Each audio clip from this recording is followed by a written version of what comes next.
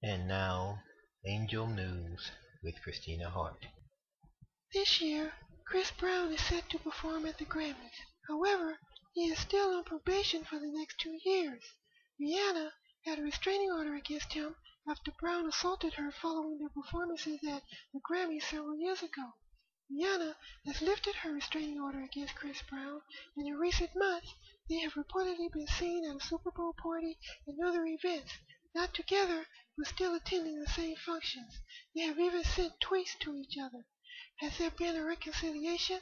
If so, Rihanna is truly classy and strong to offer her forgiveness to Brown.